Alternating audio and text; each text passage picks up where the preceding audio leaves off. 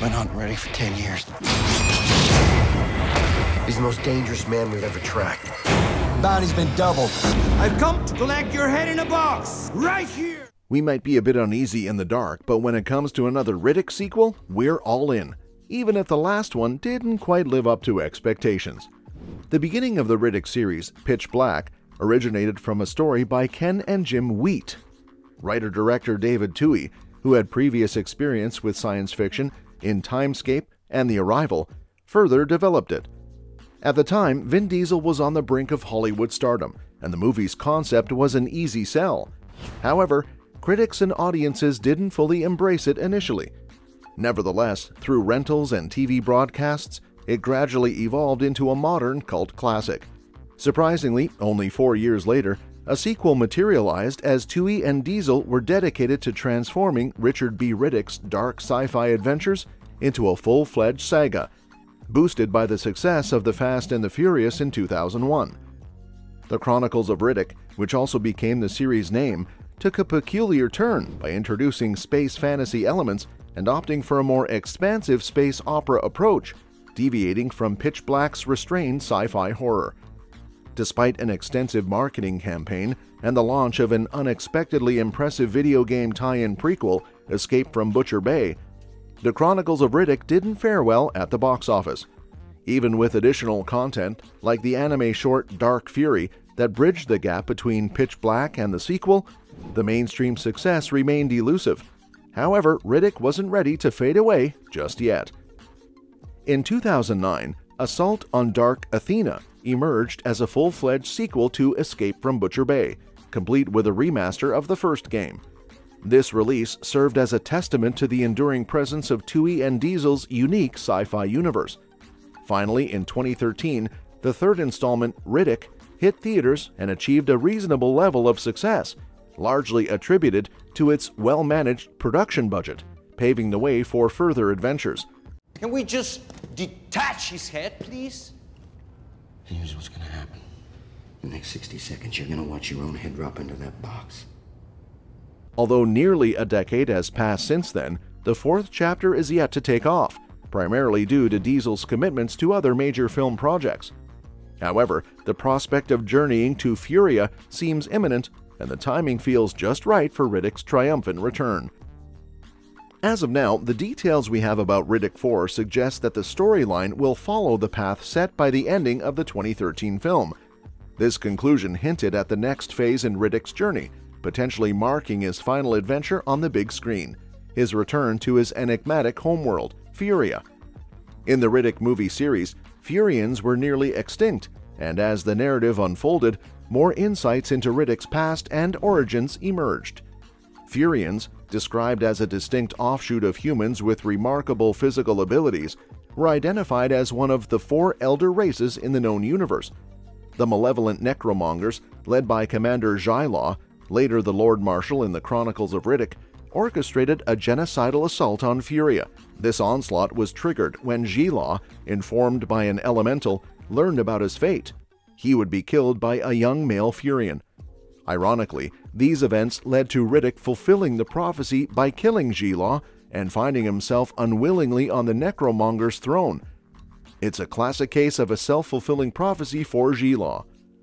The third Riddick film shifted away from the complex role of Riddick as the leader of the Necromongers, opting for a return to a more foundational sci fi horror adventure reminiscent of Pitch Black. However, it seems that Riddick's ties to his homeworld and the Necromongers are not fully severed. Over the years, subtle hints have suggested a new threat to what remains of Furya and an exploration of the Underverse, a collection of dark stars considered by the Necromonger Empire as a kind of promised land. On September 25, 2021, Vin Diesel took to Instagram, sharing a photo of himself from the 2013 Riddick film and teasing an incredible meeting. While speculation about the fourth movie had been ongoing, this post marked the first official confirmation in years that Riddick Furya, a tentative title, was still in the works. The excitement gained substantial momentum on February 10, 2023, with the announcement, reported by Deadline, that the fourth installment was finally progressing. David Twohy would once again take on the roles of writer and director, with Vin Diesel starring and producing through his One Race Films banner alongside Samantha Vincent. This news reignited anticipation for the continuation of Riddick's saga. The current synopsis for the upcoming movie Riddick Furya reveals that Riddick is making his way back to his homeworld, a place he only vaguely remembers and fears may have been devastated by the Necromongers. Upon his return, he discovers other Furians engaged in a battle for survival against a fresh adversary. What makes this encounter intriguing is that some of these Furians share unexpected similarities with Riddick, surpassing his initial expectations. It's anticipated that Riddick Furya will be Vin Diesel's next project, following the completion of the 11th and final installment in the main Fast and Furious saga. This synopsis sets the stage for an exciting continuation of Riddick's journey, promising new challenges and revelations on his homeworld. Now, the big question is why is this the perfect time for Riddick to return? In recent years, there has been a rising demand for substantial and mid range budget alternatives in the realm of sci fi cinema. This shift comes after an era dominated by colossal franchises like the MCU and Star Wars.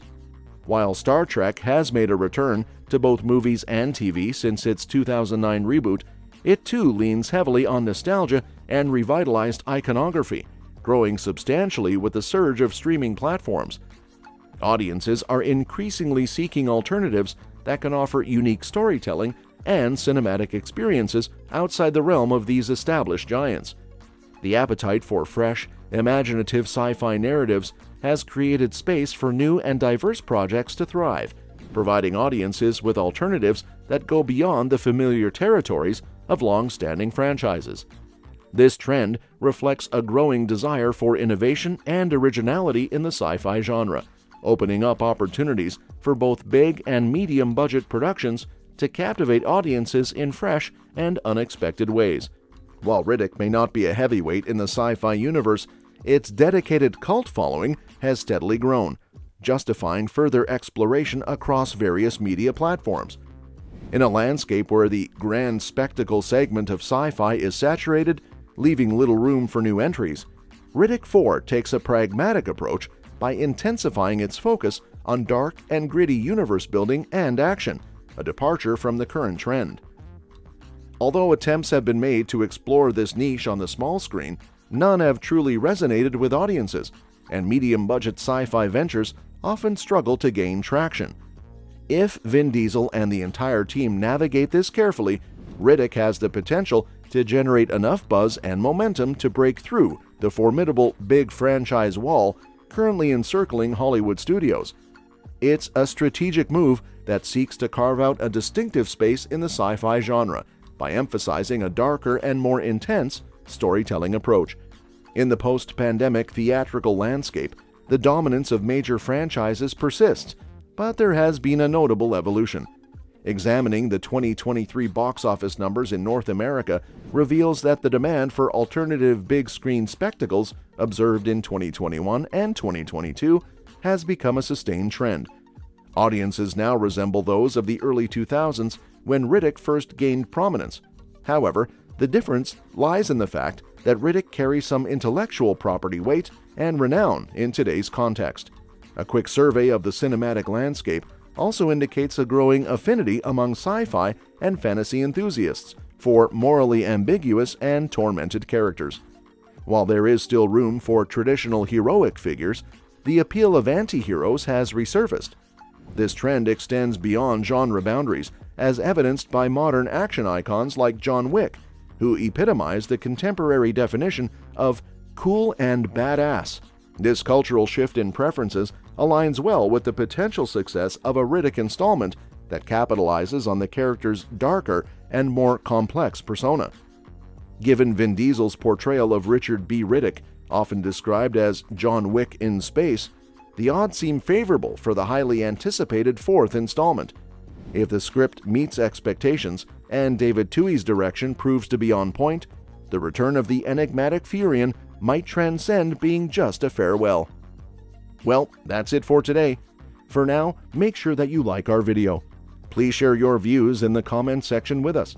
Subscribe to the channel to get updated and do not forget to hit the bell icon to never miss an update. Thanks for watching the video, and we'll see you at the next one.